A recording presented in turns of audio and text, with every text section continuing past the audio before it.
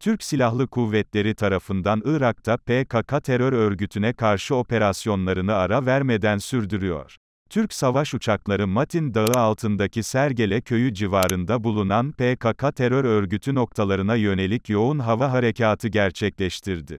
Milli Savunma Bakanlığı, Irak'ın kuzeyinde 5 PKK terör örgütü üyesi teröristin etkisiz hale getirildiğini bildirdi.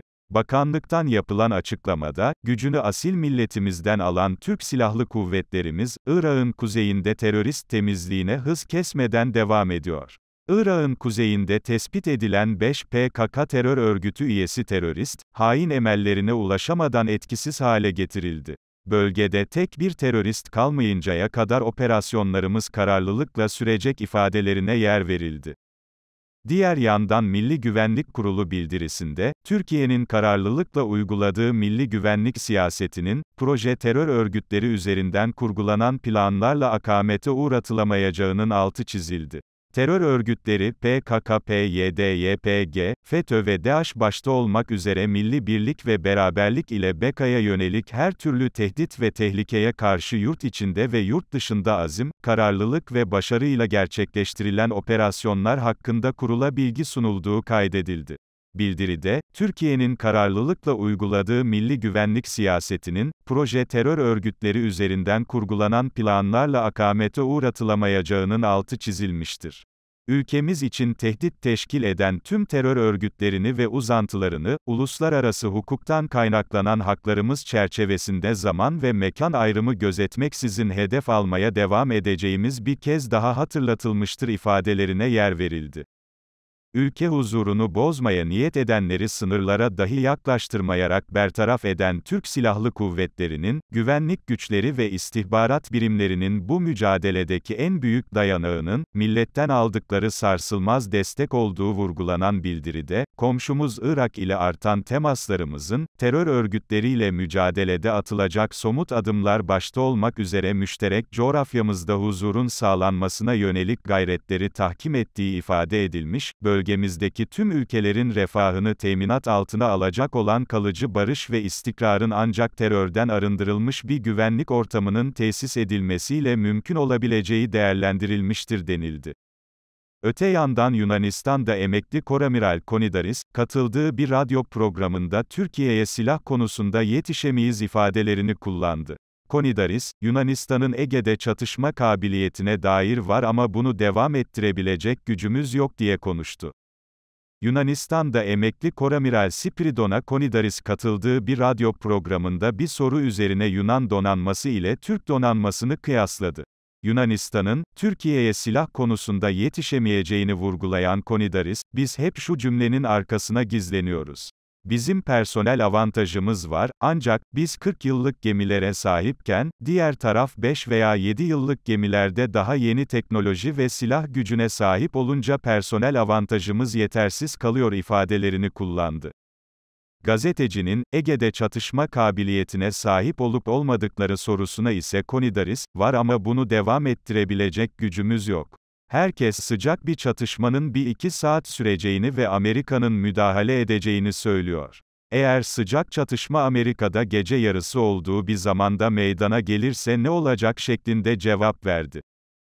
Konidaris ayrıca, Türkiye'nin Libya ve Arnavutluk gibi ülkelerle ilişkilerine de işaret ederek, Yunanistan'ın sadece Türkiye'nin karşısındaki adalarda değil, her yerde hazırda bekletilen güce sahip olması gerektiğini savundu. Alman Die ve gazetesi de Türkiye'nin dünyada giderek daha da önem kazanan bir ülke olduğunu yazdı. Gazetenin Türkiye Büyük Millet Meclisi'nin İsveç'in NATO üyeliğine onay vermesinin ele alındığı haberinde, Amerika'nın nüfuzunu kaybettiği ve yeni güç kutuplarının ortaya çıktığı bir dünyada Türkiye giderek önem kazanıyor. NATO için Ankara, Avrupa, Kuzey Afrika, Orta Doğu, Kafkaslar ve Karadeniz arasındaki stratejik noktada savunmaya hazır olduğunu göstermesi açısından vazgeçilmezdir ifadelerine yer verildi. Haberde Türk parlamentosunun İsveç'in üyeliğine yeşil ışık yakmış olmasının Batı için bir başarı işareti olmaktan ziyade Batı'nın Türkiye üzerinde ne kadar az kozu olduğunu ortaya koyduğu belirtildi. Her ihtilafın Türkiye'yi batıdan uzaklaştırma ve Rusya'ya yakınlaştırma riski taşıdığı ve kimsenin böyle bir risk almak istemediği vurgulanan haberde, rahatsız edici gerçek şu ki Erdoğan olmadan bu iş olmayacak. Ankara'da en az Berlin ve Washington kadar bunun farkında değerlendirmesinde bulunuldu. Cumhurbaşkanı Erdoğan'ın İsveç'e NATO üyeliği için ağır bir bedel ödettirdiği savunularak, Stockholm, Türkiye için terörle mücadele yasasını değiştirdi. Ankara ve ABD ayrıca Türk F-16 filosunun modernizasyonu için pazarlık yaptı ifadeleri kullanıldı. Öte yandan Hamas'ın askeri kanadı İzzeddin Kassam Tugayları, bir haftada 53 İsrail askerini öldürdüklerini, 68 askeri aracı imha ettiklerini duyurdu. Kassam Tugayları sözcüsü Ebu Ubeyde, yaptığı açıklamada, Gazze şeridinde geçen hafta İsrail ordusuna ait 68 askeri aracı kısmen veya tamamen imha ettiklerini belirtti. İsrailli 53 askerin sıfır mesafeden vurularak öldürüldüğünü ve 9 askerin de keskin nişancılar tarafından vurulduğuna dikkati çeken Ebu Ubeyde, geçen hafta gerçekleştirdikleri 57 eylemde onlarca İsrailli askeri yaraladıklarını ifade etti. Kassam Tugaylarının aynı zamanda İsrail ordusuna ait iki Skylark 2 model keşif uçağını düşürdüğünü ve ikisi kamikaze olmak üzere 8 drone'u da ele geçirdiklerini vurgulayan Ebu Ubeyde, Gazze'nin farklı bölgelerindeki İsrail askerlerini de havan topları ve roketlerle hedef aldıkları gibi İsrail'in içine de roket saldırılarını sürdürdüklerine işaret etti. İsrail medyası, ABD ve İsrail'in, Tel Aviv'e çok sayıda F-35 ve F-15 uçağı ile Apache savaş helikopteri tedarikini içeren büyük bir silah anlaşması imzaladığını duyurdu. İsrail'de yayın yapan Kanal 12 televizyonu, Washington'la yapılan anlaşmada yer alan Savunma Bakanlığından İsrailli yetkililerin, Gazze şeridinde devam eden savaş sırasında ABD ile İsrail arasında dramatik silah anlaşması imzalandı önümüzdeki birkaç gün içinde İsrail ordusuna konuşlandırılacağı 3 yeni filo ve binlerce mühimmat sağlanacak dediğini aktardı. Yetkililer, Gazze'deki savaşın ve kuzeyde Lübnan Hizbullahı ile çatışmaların devam ettiği bir dönemde imzalanan anlaşmanın olağanüstü büyüklükte olduğunu söyledi. Diğer yandan Rusya Soruşturma Komitesi, ülkenin Belgorod bölgesinde 65 Ukraynalı esir dahil 74 kişinin içinde bulunduğu İl-76 tipi Rus uçağının Ukrayna'dan fırlatılan füzeyle vurularak düştüğünü ve olaya ilişkin terör soruşturması yürütüldüğünü bildirdi. Komiteden yapılan açıklamada, Belgorod bölgesinde İl-76 askeri nakliye uçağının düşmesine ilişkin incelemelerin oluşturulan ekiplerle sürdürüldüğü belirtildi.